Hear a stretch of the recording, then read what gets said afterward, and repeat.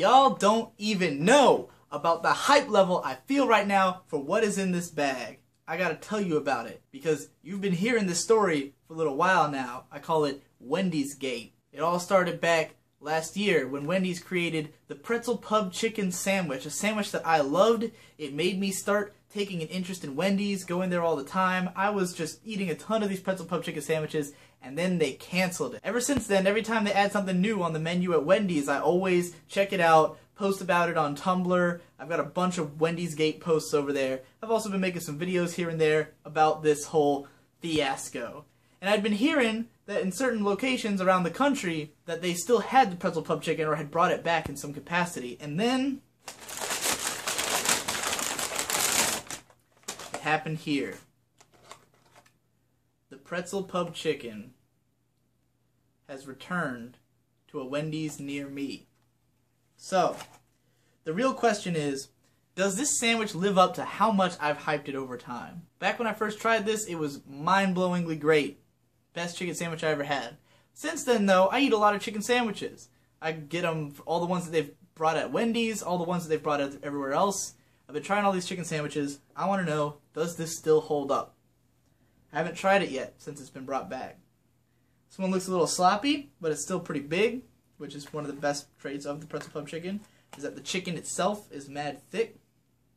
So we're going to bust into this motherfucker right now. Oh my god, it's beautiful. Because I'm filming a video and also eating a sandwich. I'm filming a video about a sandwich. Lettuce game was mad crazy on the first bite. I had to pull a lot of it out. Got a lot of lettuce in my mouth, but what I tasted so far has been heavenly. The pretzel pub chicken is really all about this sauce. This gooey sauce right here. And this cheese. It's delicious. What is it? Gouda, I think? Gouda cheese? The sauce and the cheese combined. Oh my god. And the thick ass chicken. Thick, juicy, flavorful chicken.